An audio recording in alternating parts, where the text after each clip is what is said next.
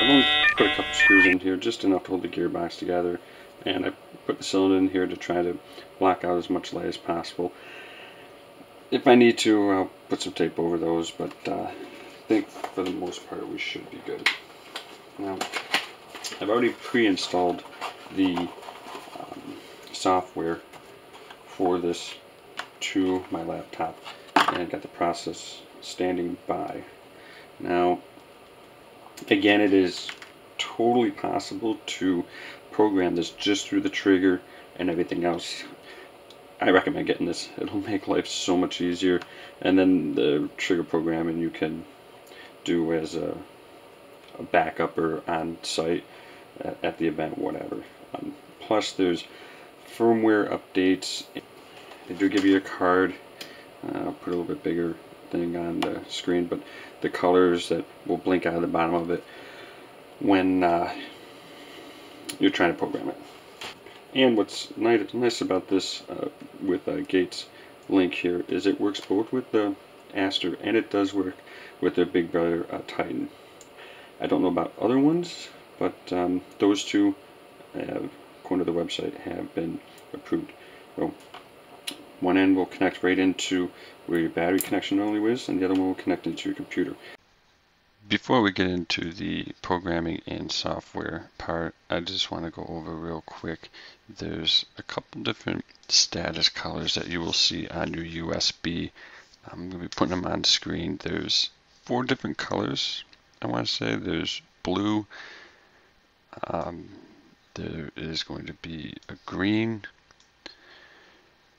followed by a red, and finally a yellow.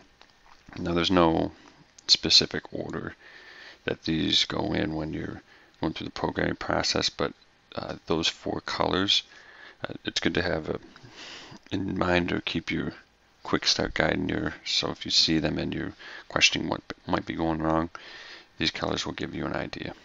I've got the USB link connected to where your uh, battery connection normally would be, and then the USB cable. Now, as you can see, there's nothing lit here, but when you look over onto the software, computer is registered. Once you see this connected, you will see both the blue light light up on the link if it's working correctly, and then the computer software should uh, connect to the USB link here, and then it should show the MOSFET. So here we go. Yep, blue light's on. It's going to the recognition. Got it. And recognizing it. Okay. Up here, there is an update available, which I will do right now. This is the firmware. Every so often, or maybe not every so often, but there will be times that they will send out firmware updates. Um, I'm guessing you might get an email about it. I'm not sure. I'll look a little heavier into that. Only thing I know is at the moment there is this one when you get connected. Again, another advantage to having that. And now it's going yellow showing that it's doing some type of update or data transfer. I will say when uh, you first put the software on for this USB thing, it does make you download a driver update. Uh, there is a step-by-step -step what to do. For me, honestly, when I was starting to read it, it was a little complex, but uh, when it's downloaded, it comes in as a compressed file. I just unzipped it in its location, and it did all the updates it needed to, and we were connected right away.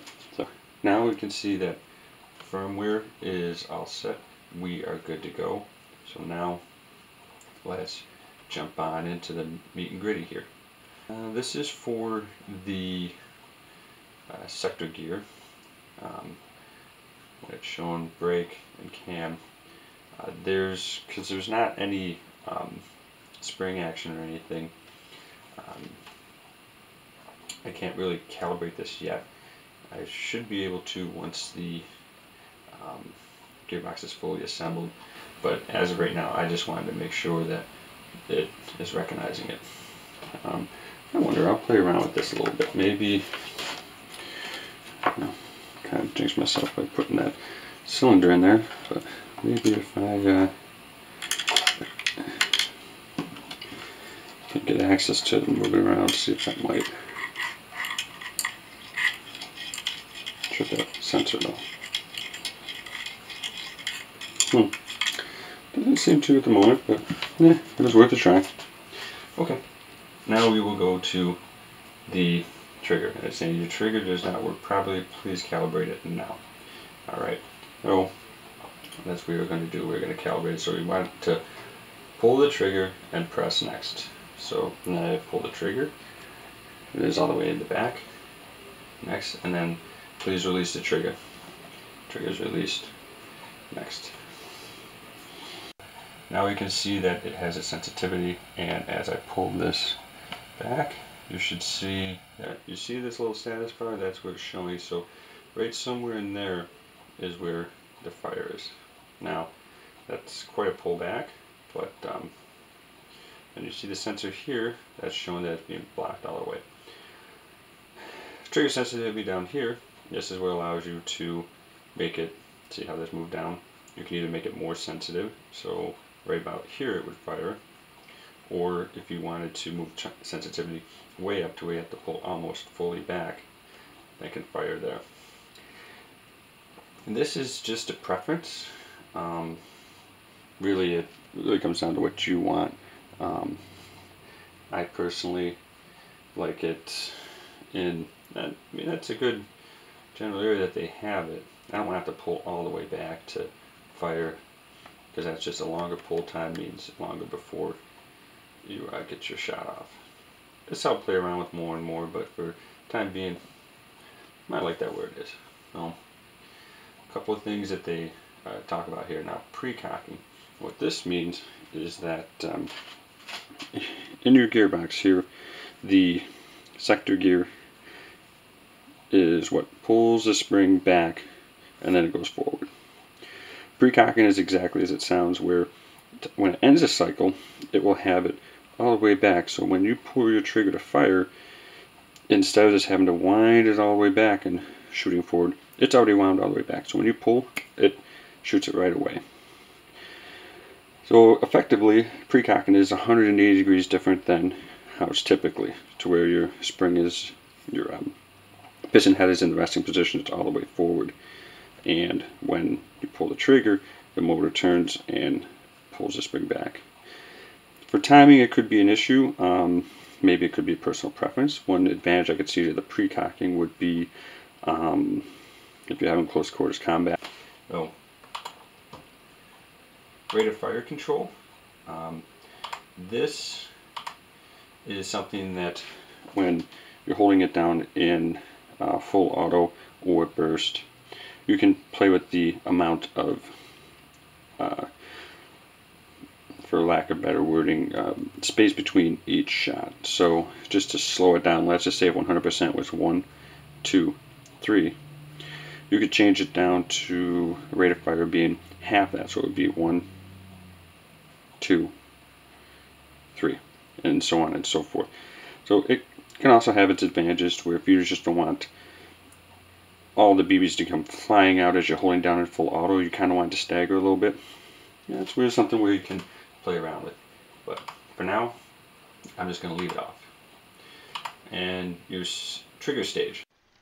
Now there's a two-stage trigger option that you can uh, set through the programming here. And in summary, what it means is that uh, when you pull your trigger slightly, to the setting that you made for to fire it around, it would produce your semi-auto shot or burst depending on which way you set it. And then as you pull your trigger further back, thus will produce your second choice, whether it's a burst, burst auto, whatever the mix settings there. And now we move on to the selector plate. Okay, so this is what we need to calibrate.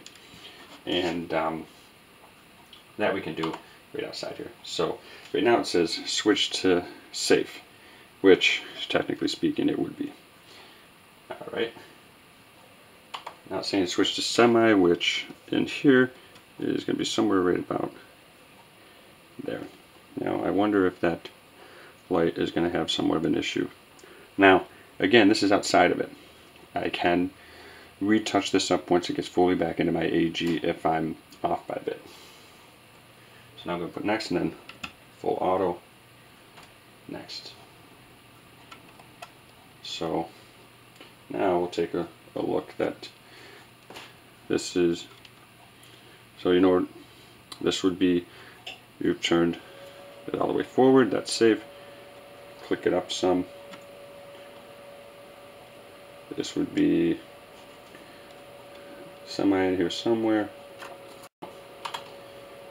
Magazine simulation. Um, let's see. I'll have to read a little bit more into that. I'm not exactly sure, but that's something I want to do with vibrations and alerts. Um, you can have warnings set. Um, there's certain vibrations for you can have vibrations for low batteries and otherwise. I'm not sure if that's in the advanced and expert ones.